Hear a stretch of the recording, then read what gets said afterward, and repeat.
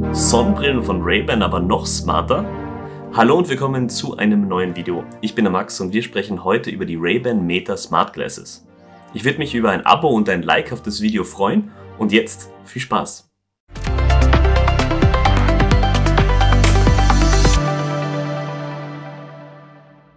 Fangen wir mit dem Design und der Verarbeitung an. Das erste, was bei den Ray-Ban Meta Smart Glasses auffällt, ist ihr klassisches Design. Ich habe mich dabei für das Headliner-Modell entschieden, weil ich die Brille mehr als Sonnenbrille nutzen möchte. Im Grunde sehen die Smart Glasses fast wie normale Brillen aus. Aber die Bügel sind etwas dicker, da die Technik ja irgendwo verbaut werden muss. Trotz des zusätzlichen Gewichts wirkt sie nicht zu klobig oder zu überdimensioniert.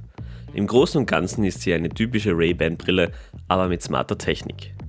Auch in Bezug auf Verarbeitung kann die Brille absolut punkten. Sie fühlt sich sehr hochwertig und robust verbaut an, obwohl die Hülle der Brille nur aus Plastik besteht. Trotz des technologischen Innenlebens ist die Brille überraschend komfortabel. Sie passt sich gut an verschiedene Kopfformen an und bleibt auch bei längerem Tragen bequem. Die breiten Bügel fallen beim Tragen nicht störend auf und drücken auch nicht seitlich auf den Kopf. Die Softwareintegration zwischen Smartphone und Brille funktioniert erstaunlich gut und die Steuerung über die Touchbügel ist intuitiv. Die Brille lässt sich einfach mit dem Smartphone verbinden und dort über die MetaView App steuern. In der App können allerlei Einstellungen vorgenommen, ein Livestream auf Social Media gestartet oder Tutorials zur Einrichtung der Brille geschaut werden. Und die gemachten Fotos und Videos können in der eingebauten Galerie von der Brille heruntergeladen und direkt für die Weiterverarbeitung im Smartphone genutzt werden. Kommen wir zu einem der wichtigsten Features der Brille, die Kamera. Die Ray-Ban Meta Smart Glasses bieten die Möglichkeit, Fotos und Videos aus der Ich-Perspektive aufzunehmen, was besonders bei Aktivitäten wie zum Beispiel Spaziergängen oder Radfahren interessant ist.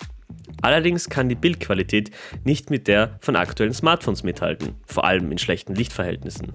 Ich habe dazu mal eine Aufnahme mit der Brille und einem Smartphone, also meinem iPhone 13 Pro, gegenübergestellt.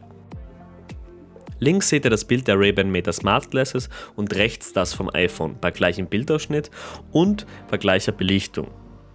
Und was denkt ihr? Also ich sage, das Smartphone gewinnt eindeutig und das mit Abstand.